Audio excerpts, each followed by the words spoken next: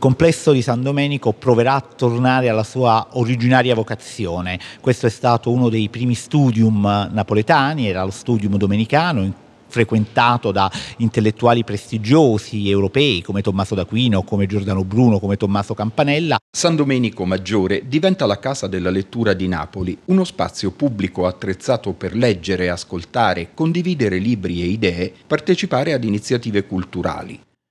Le sale e i corridoi del chiostro saranno arredati in modo da creare ambienti per la lettura e per lo studio. Un'area sarà dedicata ai bambini e alle narrazioni per l'infanzia.